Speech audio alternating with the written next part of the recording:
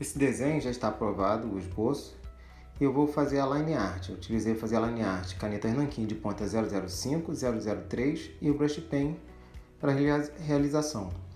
Usei também um papel de gramatura alta, que é importante, pois esse trabalho foi feito com marcador à base de água. O esboço é bom lembrar em fazer com um lápis bem leve e claro, pois depois de usar o nanquim será necessário apagar o grafite. Para a line art também é necessário fazer traços limpos e precisos, Evitar passar a mão sobre os traços para não borrar a tinta.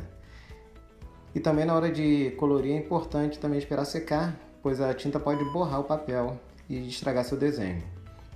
É, é bom também fazer um teste antes com o marcador para saber como é que vai estar a tonalidade e saber como é que a tinta vai se comportar no papel. Existem papéis específicos tá, para o marcador.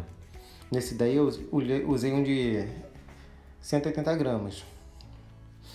É, e para utilizar o marcador é preciso usar técnica específica para cada tipo. A base de, álcool, de álcool é melhor, pois eles aceitam bem a sobreposição. Não é o caso da base de água que fica muito, bem mar, muito marcado quando você passa um por cima do outro. É, então tem que trabalhar de formas é, rápidas e arredondadas. Assim vai evitar marcas e manchas no seu trabalho. Espero ter ajudado. Diz aí o que você achou.